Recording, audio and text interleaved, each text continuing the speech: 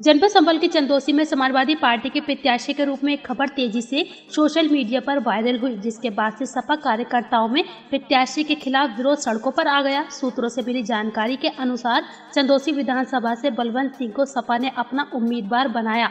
उसके बाद से सपा कार्यकर्ताओं व नगर के लोगों में रोष व्याप्त हो गया और सपा कार्यकर्ताओं ने बलवंत सिंह का पुतला दहन किया। बलवंत सिंह पूर्व बीएसपी में और उसके बाद भाजपा में शामिल रहे जिस दौरान बलवंत सिंह ने समाजवादी पार्टी के खिलाफ भी जमकर जहर उगला था। इसी कारण हम लोगों ने बलवंत सिंह का पुतला दहन किया है। आलम कुरैशी मामला? यह है कि बलवंत सिंह का हम टिकट नहीं चाहते। अपने क्षेत्र से। हम चाहते हैं सतीश प्रेमी जी आधी रात तैयार रहते हैं वो यहाँ वो मुँह माफिया है और दल बदलू है। कभी इस पार्टी में कभी उस पार्टी में।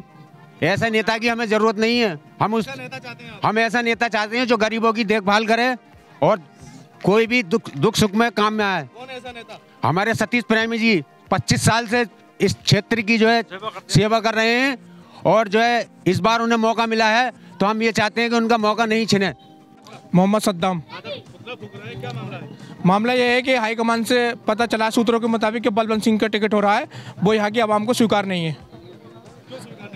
क्योंकि बलवंत सिंह को कोई जा, जानता नहीं है ज़्यादा इतना भू माफिया टाइप के आदमी है जमीनी क्षेत्र में नहीं आता कोई नहीं जानता उन्हें कौन है कौन नहीं है और उनकी छवि भी ऐसी नहीं है जमीनी स्तर पर जो काम करते हो। कैसे नेता चाहते हैं आप? हम जो चाहते हैं जमीनी स्तर का नेता हो पब्लिक सतीश प्रेमी जी हैं जो जमीनी नेता हैं हर दुख सुख में शामिल रहते हैं हमेशा गरीबों के हम चाहते हैं।